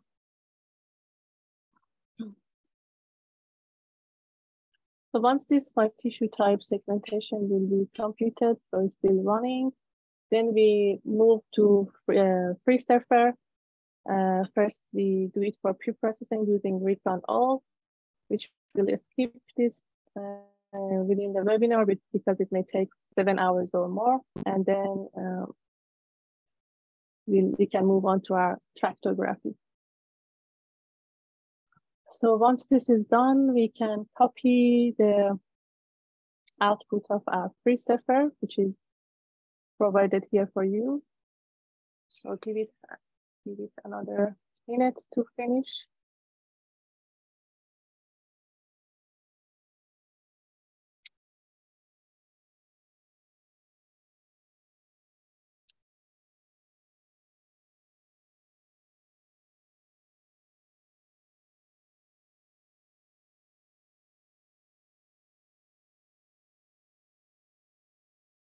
Yeah. Uh, also have uh, questions. Yeah, well, we'll have a look at the upsample issues for the B0. So here's another question. Uh, notice that we use the switching between FSLeyes, no, FSLeyes and MR view. Uh, yes. So I, so I think they are the same, especially the latest FSL can load some track things, uh, the tractographer. Um, yeah, I'll ask the student to answer the question. Yeah, it depends on your preference. So how you feel comfortable to use MRView or um, FSLeyes. Um, for some for some outputs, I prefer myself to use FSLeyes. And uh, exactly maybe for the next step, which is for like parcellations to see the nodes. Uh, it has more set of the colors that you can choose from. And for some other things, it's uh, I use MRView. So it's just a personal choice. It doesn't make any uh, difference on your output. So sorry if, if, I was switching between these two. Yeah, but but mainly all of the processing uh, steps are based on um, MRtrix. Right? MRtrix, yeah. yes. And if you use the single shell tree tissue CSD. So it decomposed the single shell diffusion data to uh, white matter, gray matter, and CSF compartments. Um, yeah, so which is uh, to correct for the partial volume effects of the gray matter and CSF. And you, if you have multi multi-shell diffusion data, then you can use uh, the multi-shell CSD. Okay, so it's done. Now we can, uh, just to save time, I copy the uh, FreeSurfer output from here.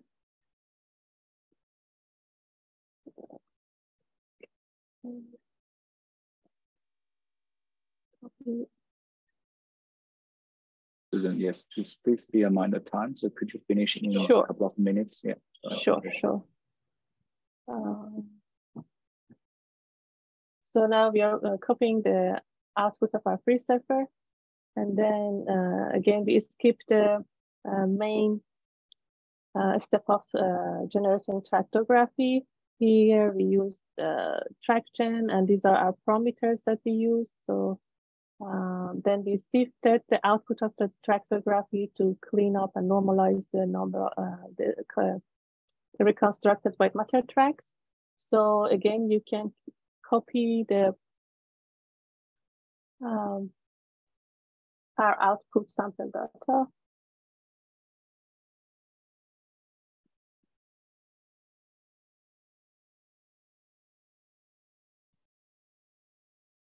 So these parameters are very depending on your data, they can be changed. This is how we played with our data to get these uh, parameters set up.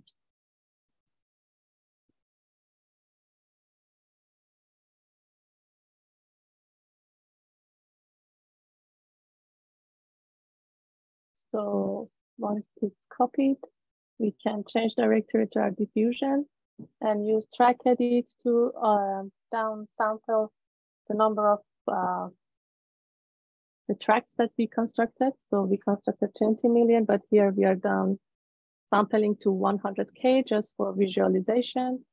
So you go to view, portal view, it gives you the whole view, make it bigger, and then you can go to tools, overlay.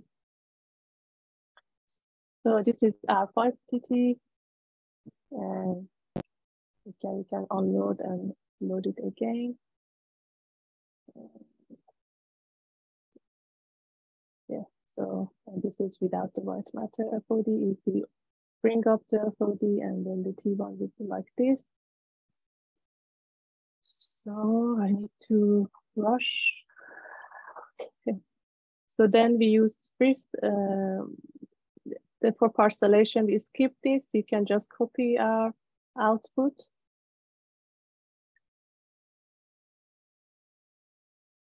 Mm.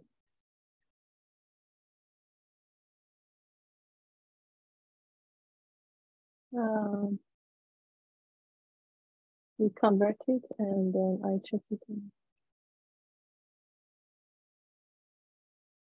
You want me to finish?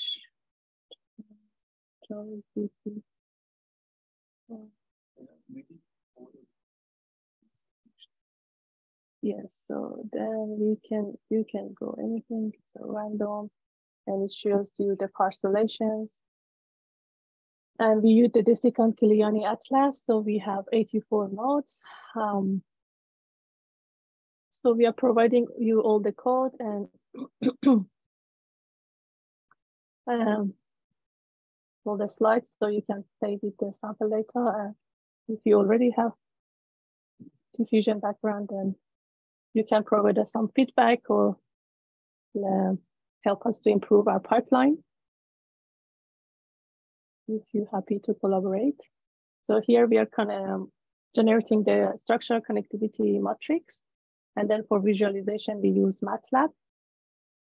Um, so hopefully it takes less than a minute.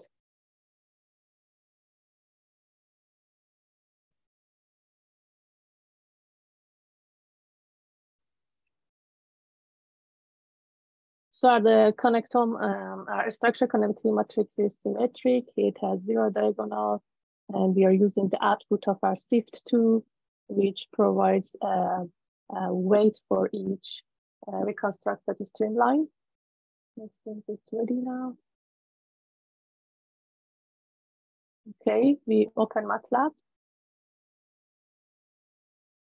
I prefer to use this version. You can do any version you want. Um, and so once you're in MATLAB, you can read, use the read matrix to uh, read your CSV. Um,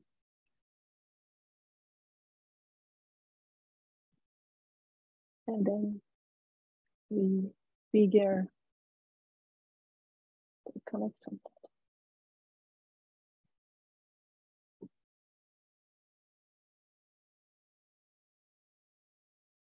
Uh, so the first figure is the structural connectivity matrix outcome, and the second one is the log to have a, give you a better view, and then this is the histogram of the connectome. So I can um, stop sharing and Cho can continue to save time. Thanks everyone, and let us know if you have any questions.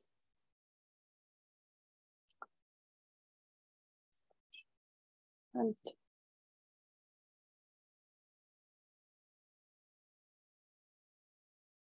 All right, thanks, Susan. Uh, I will try to finish the rest of things in 10 minutes. Um, So, uh, so basically, I'm just going to talking about, it's going to be slightly different for my part. So I'm going to talk about the using Conn toolbox to process resonance state function MRI stuff. So it's a bit different as what um, Susan and uh, uh, Yuchi was talk about. So this this is very interactive. So basically that means you can use your just on your mouse to get all of the things done. Um, so you're just pointing the files, click the buttons and get it through. So it's relatively easier. And I have most of the information is already captured in this PDF files. So basically, if you follow that one by one, you, you won't have any problems. Um, the planning was just firstly talk about what is the files looks like, and then we try to process some data. So we have a BIDS format input, uh, n equal to four, and then we can get all of the steps and to we start to set up the pre-processing. Then that will take a long time to run, and we can start stop in there, and then we have the data has already been processed. We have n equal to 10 small data set already processed that we can load it up and we can have a look. So probably because of the time, we can probably all together go to these levels. Uh, and for the review one, it's very similar as the highlight session. Um, so we can have a quick look if we got the time. All right. So again, before that, there was a, a other software that we can use. So Conn is one of them. And then you will have really nice instructions for Conn software in their website. Okay, so here's all the data that have been put together. So if you come to here, you have into the data folder, there is a hands-on data as I said, n equal to uh, four. And with all of the data, there's a pretty much BIDS format, anatomical. Uh, that's already been processed. So for you guys, this should be very clean. Uh, and then this is the data we're going to run. And then the demo data is the one is paired with the uh, example outputs. Yeah. So what we're going to do, because we're going to run something, we uh, firstly, let's create an output folders in under your folder. So uh, in the resting state fMRI here, I'll just create a folder called uh, probably hands-on outputs. Okay. Um, and, and, and we can just open the terminal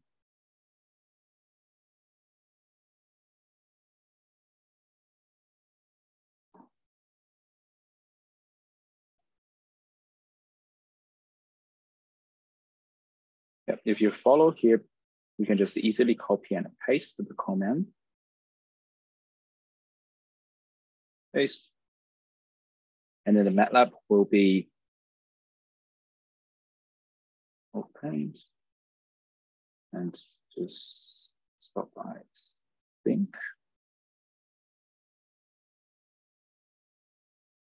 Think I have the, the data has already been processed. So I'm going to have the clean versions of the data, which is copying from, uh, as I said, this is our master copy. The data is a hands-on. You don't need to do this. I think it's probably, um, so I just need to do that so we can have exactly the same looking. So it. And not that. So sorry for the, uh, the confusion. So if you're looking at here, if you open your anatomic folders and the section which is what your folder looks like, there's only uh, what JSON file and then there's NIfTI and there's one is unzipped. So um, that's actually, we don't need this one. Um, yeah, but either way, so the uh, um, uh, Conn will actually recognize it. So at least there's no segmented files over there.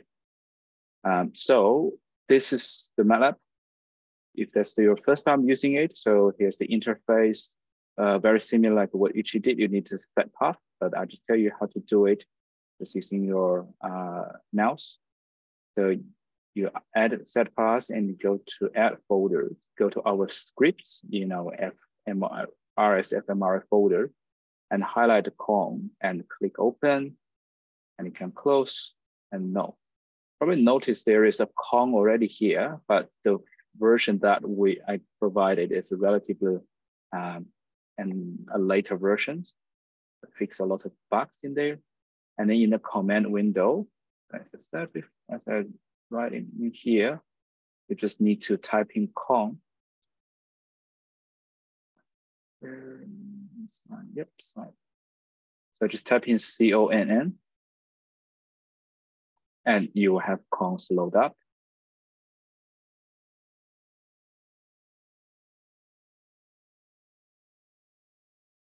Yeah, so this is the main interface of cons when you get in. So there are two buttons here. So because we are starting a new one, so we just click new and it will starting a new project. And remember, this is the new folders that we create. We can just double click. We jump into this new folders. You can change whatever the name you like. Um, yeah, so you can put whatever the name it, you like, and then they will save as a .mat files, and it is a folder pa uh, pairing with it with all of the information. So once you have starting the project, so here's you get a first tab is active and all of the others gray. So we do step by step. The very important thing is we need to load the data. So Conn is very powerful from loading the data from DICOM to BIDS or fMRIprep output, and then even SPM, because based on SPM. So let's do the BIDS data set and see whether they can recognize the data properly or not. So go to data folders and just a highlight on the parental directory of the uh, um, the BIDS format and click select. And they said, okay, one folder is fine. So they are analyzing the root content. So if you have a lot of subjects, they will do use a little bit longer time. And now it's all fine. So we just click OK. So that input of five is all loaded. Yeah. So if you load want to load all of them, just highlight all of them and just click import there. Yep, and it's telling you we're going to import four participants with a four functional and a four T1. So continue. So everything is very interactive. If they have a problem, they will say there's a problem. And if they have, if, if there's uh, anything that usually you can make the change, make changing. Um, okay, and then once you're up, so you can use a structure and a function basically to navigate all of the image. You can have a quick look.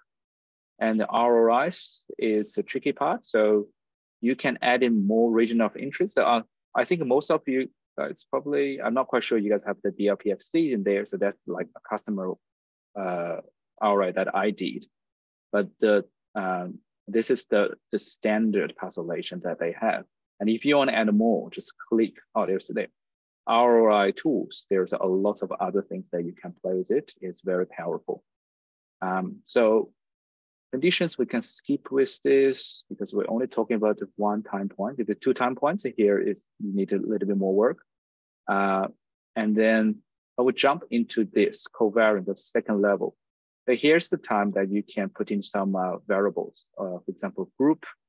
You can say we'll get a group one, and uh, subject one is group one, subject two is group one. Yep, and just press enter have the group one variables there, and you can add in more. So for the time, we're not doing it. Um, and then before I start starting showing the results, the very important part is I'm going to show in here is doing a pre-processing. If I hit these buttons, I'm going to show the most the powerful part of this. Oh, it's here. So you can select whatever the pipelines you like. You can even customize the pipeline yourself. So one thing I will probably easily to do because it's cross-sectional, we're gonna do the default preprocessing and I click OK. And even in here, it's telling you all of the step-by-step -step things you can play with it, but sometimes you, if you're stuck, you can remove everything and, and then start over again. Uh, all of this, I reckon not touch it, but this very cool function here is distributed distributed process running the breadcrumb process of Unix um, and then that's for Unix and Mac. So I should to start with this, and then we can click start to make things running. So the first very important one is the parallel jobs.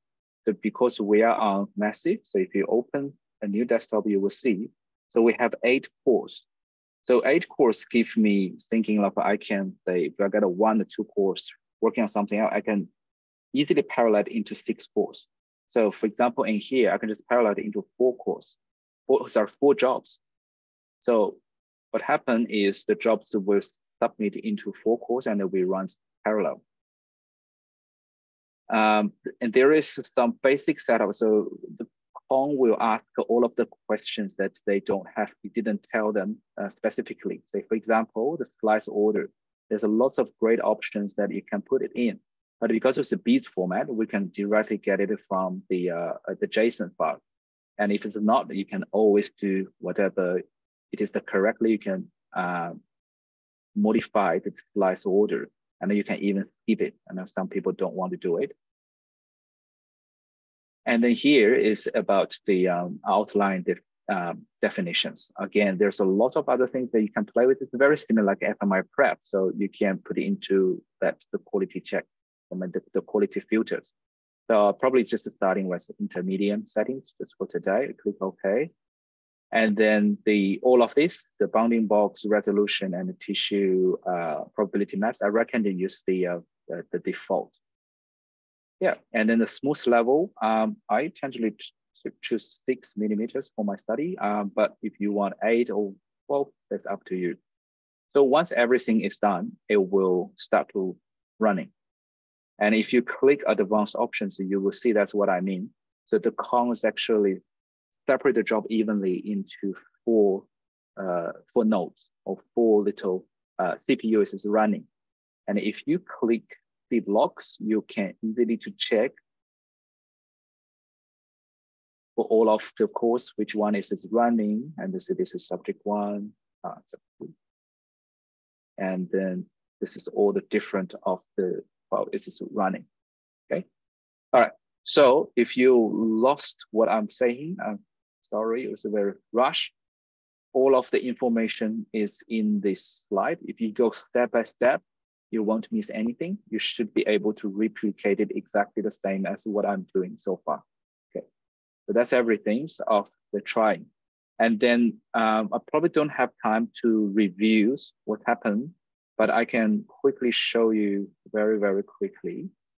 Um, so the example uh, outputs is the one that I'm going to show you. So if you right click, open the terminals here, and type in exactly the same things as before, uh, module load, SPM12, now lab, it's 18, 2018 or 7, and uh, that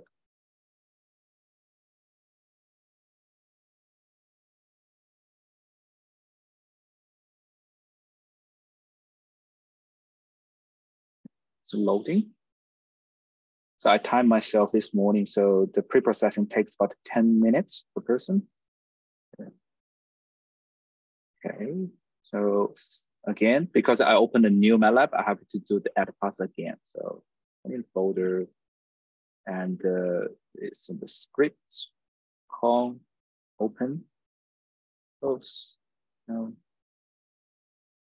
um, it's gonna start running and then we can load it. So again, with everyone, I have already put the output folders and then the input data for this output folders and then the script, uh, sorry, the, the Conn toolbox or in the folders. So if you followed the slides, you should be exactly get into all of the steps that have been, I'm showing you now. So now I'm loading uh, the demo output, which is this file. Uh, I think what it's talking about is if you're looking at the parallel folder, they have all of the results is actually in there. Like the QA report is sitting here, second level analysis. Um, if you know a little bit of SPM, you will see everything is organizing perfectly in here. So sometimes you can just navigate the folders, get all of the answers. But here is the, say, if you run through a project, this is what it looks like of the whole project. So all of the tabs on here is already, you can click around and you can get all of this information. Um, so last, so previously when we say trying to run the pre-processing is this step and you click done and you'll be able to go to the denoising part which is to further detrending and get rid of global signal, etc. And after you set up, you click done, it will get into the analysis, which is to generate uh, seed-based analysis, uh, connect functional connectome analysis. And if you want more analysis, you click the plus and you can have more analysis that you want, like the P, uh, uh, the physio, uh, the, the PPI analysis, and then the uh, ICA, um, yeah, ICC, so uh, ALFF. So all of this is just added on, and then there's some little things you can uh, manipulate the, the config, and they can run. And then you come into the, the last part is the results, which is the um, uh, second level steps. And if you have a more analysis, here is you can toggle around just different type of analysis and you want to click to do the, uh, um, um, the, the, stats on the different um, measurements in the first level. So for example, seed-based analysis, I already showed uh, people that before in the uh, highlight sessions. Um, so for example, here you can select different seed um, and then you can just click the results and you can run. If it hasn't been, if this results not completed yet, you click compute results and it will run in about a couple of seconds. So if you're interested in the connectome analysis, function connectome analysis, uh, here is the, um, uh, the output. So you can display the results and I was, as I showed, oops, I showed here before, you can actually get really nice views of the connectome differences. Yep, and you can have this plot. And the very important and interesting things I didn't show in the um, highlight session last week is this. You can do the any graphic theory results. So you can calculate all of the uh, measurements for graphic theory and then they can do the stats for you easily. Um, if you know a little bit of the network, firstly, the network analysis, first you need to define the network. Say, I want the neck of, of all of the RIs, or you can even select some of the region and you can customize your own node. Um, and then you can select some of the uh, uh, threshold, say, make it a little bit 0.25 in terms of the cost value of the cost, uh, and that will reduce uh, the complexity of my current network. And then within this network, once I define the network, I can check all of um, the measurements for the different networks. Remember, we defined group one and group two in this uh, particularly n equal to 10 uh, samples. And they can tell you are they significant difference? So that's the p-values you want to know. Uh, of course, because of the, we just do a random sample, there's nothing significant. If it is, I will tell you, is it survive after the uh, FDR correction? Um, yeah. So just really a matter of, uh, uh, because of the time, so I couldn't um, go through everything into detail. Um, yeah, but um, if you follow the slide that I shared with everyone, you'll be able to um, uh, just follow all of the steps all the way to the end. And also, if you have any questions, you're welcome to uh, email me or Sarah. Uh, we can help you with it. Uh, finally, a thanks to everyone who has helped uh, to make this um, the ACCS workshop happens. And um, thank you everyone's hard work. And also, I have this QR code here or the um, the URL of the YouTube that's linked to our channels. So most of our um, talk has been recorded and is available on YouTube. And our slides um, are usually available on the uh, OFC's website. is in here. Oh, OS, sorry, there's no spell. But this, if you click the buttons, you will link to the uh, uh, to, uh, the website. Um, yeah, so I think that's everything. Um, I'll, I'll stop down here. Thank you, Chao. Uh, there were just a, a, couple of questions. Oh, yes. In the mm. Q&A, if you can just read it and then answer that quickly, if you can. Thank you. Yeah, so you please write in the chat, yeah, the version numbers of Conn.